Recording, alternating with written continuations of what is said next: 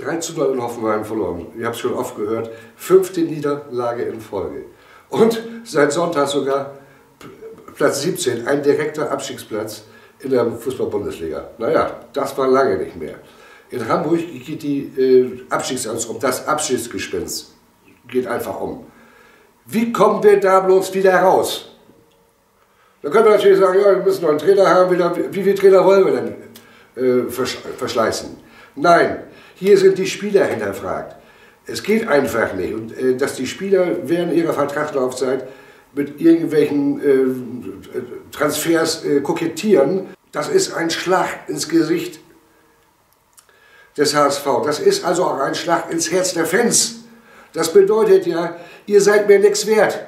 Hauptsache ich, ich, ich und nochmal ich. Das heißt, ab sofort müssen äh, Trainer und Sportdirektor mit einer Stimme sprechen. Spieler, die wieder äh, mit einem Spielerberater rumhampeln und sagen, ja, da kriege ich jetzt so viel und da und da äh, ist noch das möglich und so.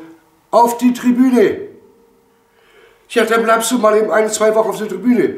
Ohne Ansehen der Person. So, und dann kann der Rest sich da mal überlegen, ob er dann endlich mal Teamgeist äh, an, an den Tag legt. Denn so, mit diesen Querelen, immer, ja, ich verdiene dies, ich verdiene das, Quatsch. Das nächste ist diese Louis Vuitton-Taschen und so ein Shit. Weg damit.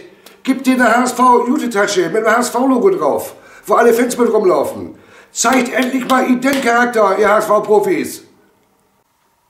Wir hoffen, dass der Trainer und Sporti euch auf die Spur kriegen gegen, am Sonnabend gegen Hertha oder, und darauf gegen äh, Braunschweig, in Braunschweig. Da ist eine ganz andere Mentalität gefordert.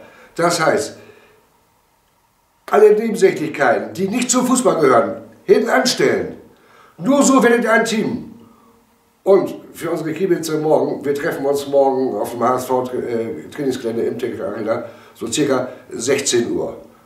Das war der Blanke Hans für hsvreporter.de.